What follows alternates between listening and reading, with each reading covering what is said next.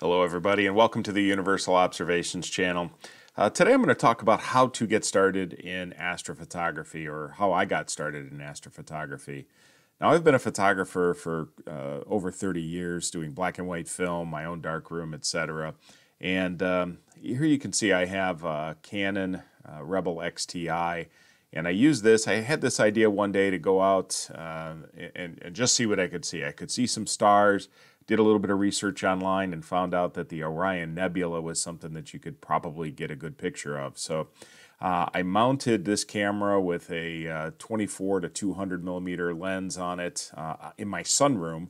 And uh, at 4 or 5 o'clock in the morning, uh, I decided to capture some images.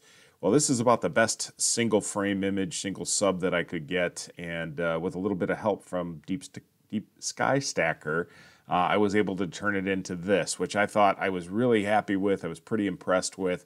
Uh, but with that length of lens, I was starting to get some uh, star trails with, with any length of time. So I put my 50 millimeter lens on and uh, see what I could see, uh, see what I could capture.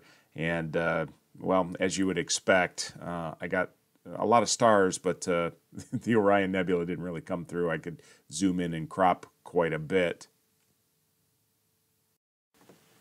So uh, then I decided to go all in and get the uh, iOptron SkyGuider Pro. Uh, in order to mount this on my camera tripod, I had to move the little insert uh, so that I could mount it on my quarter inch uh, tripod here. Here you can see my little tiny tripod uh, with the Alt-Az base for the iOptron SkyGuider.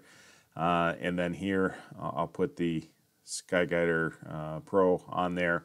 And then the whole um, bracket with the counterweight and then eventually I put my camera on there, and that was really about all that uh, that uh, tripod could handle. In fact, I was a little bit scared that it was going to uh, drop on the on the patio, and um, uh, I ended up deciding to go with a little bit beefier tripod.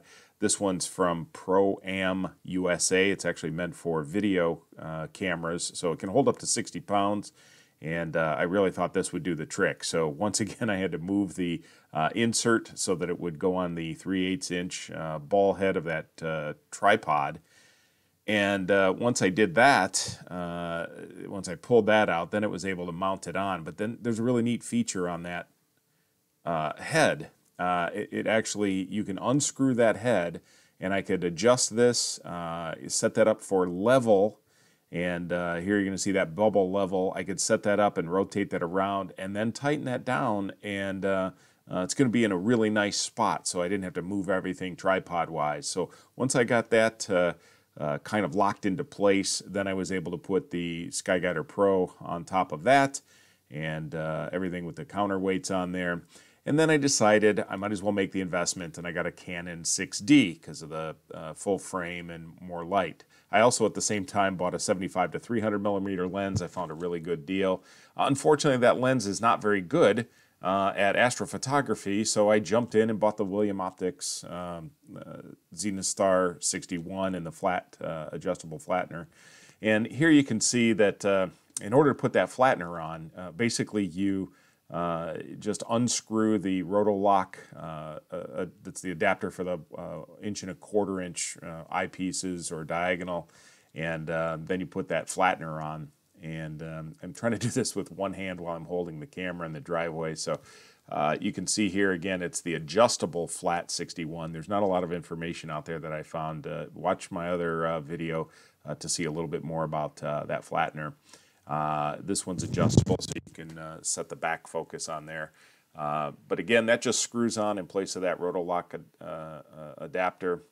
And uh, here you can see once I get that tightened to some degree, there's this additional screw on here, this thumb screw. And once I get that on there, you can see that thumb screw allows you to then rotate so that it, once you get your camera on there, you can put it in the right orientation and then lock that screw back down. Um, so then you get that uh, uh, focus there, or back focus at distance. So I'm going to take the lens cap off of this. I guess it's a, a, lens, not really a lens cap, a cap of some sort.